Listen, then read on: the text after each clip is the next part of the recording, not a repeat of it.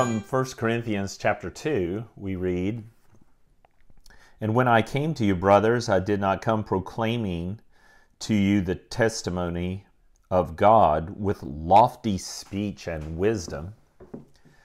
For I decided to know nothing among you except Jesus Christ and Him crucified. And I was with you in weakness and in fear and much trembling. And my speech and my message were not in plausible words of wisdom, but in demonstration of the Spirit and of the and of power, so that your faith may not rest in the wisdom of men, but in the power of God. The power of God, the power of the Spirit, the demonstration of the Spirit that Paul is talking about was the ability of a message about Christ crucified, the Son of God crucified, crucified for the sins of the world, buried, buried dead in a tomb, and risen from the dead. These are not plausible words. They're not words that anyone would make up and try to sell a religion. These words were the truth.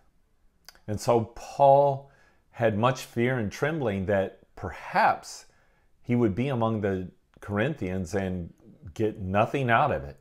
Maybe no one would come to faith, but he determined not to use his rhetoric, not to use the power of his understanding of how language works and how to convince people to do things they don't want to do. No, he decided to preach only Christ Jesus crucified. And through that message, the Holy Spirit demonstrated his power in converting the souls of unbelieving people. That's the demonstration of the power. And that's why he says, so that your faith may not rest in the wisdom of men, but in the power of God. In other words, in God's ability to give us faith. Now, of course, the Apostle Paul did do miracles among them, but we have to be careful, I think, in associating the performance of miracles as the demonstration of power, because then it would appear as if that the reason why people were converted to faith in Jesus Christ was because they saw something stupendous and outlandish. No, I believe the best understanding of the text, given its context, that the Apostle Paul re- refused to use any kind of trickery, any kind of manipulation, is that the demonstration of the power of the Spirit is that the message of D- Jesus converts the soul. Now, that same message continues to give you and I faith. The, the power of the Spirit is in this message of the Lord Jesus Christ.